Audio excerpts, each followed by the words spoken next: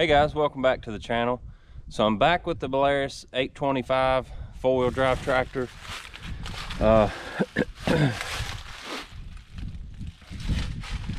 in the last video, we pulled a load of logs up the driveway on the uh, four-wheel wagon, and that worked just fine.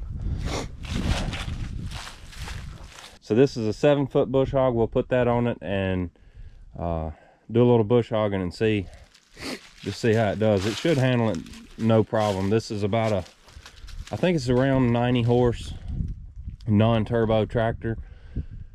So it should be all right. The 4610 is about 56 horse, I think. And it handles the, the bush hog just fine. So I think it was about a year ago that John Deere 3140 and it was a similar situation except the engine was stuck on that one. And then the uh, injector pump locked up got rust or something in it caused it to seize